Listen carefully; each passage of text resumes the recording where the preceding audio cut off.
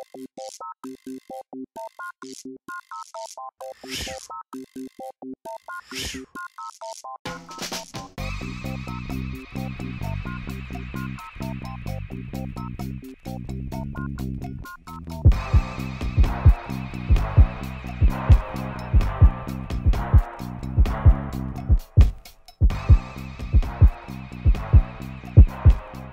belangrijkste tip voor mij is dat je speelt met uh, dingen die je hebt.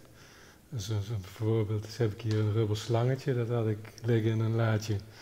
Dat is uiteindelijk terechtgekomen in het mechanisme wat die zand uh, uitstrooit. Daar heb ik gewoon met mijn vingers op geknepen en gedacht, nou, dit zou kunnen werken. Dus gewoon kijken wat je hebt en experimenteer ermee.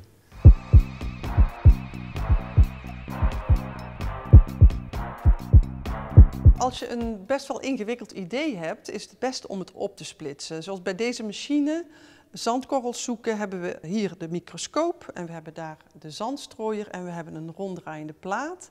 Nou, dit zijn echt drie onderdelen die je apart eerst uh, kunt maken en kunt laten functioneren. En als je ze dan bij elkaar voegt, dan is het gewoon één groot geheel. Vaak is het van tevoren niet te overzien.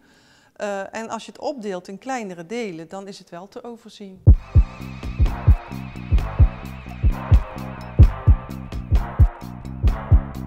Als je een machine ontwerpt, maak dan eerst de techniek en ga pas op het allerlaatst je vorm van het totaal uh, maken. Um, doe je het andersom en de techniek past er dan niet in of past er niet bij, dan werkt de machine niet.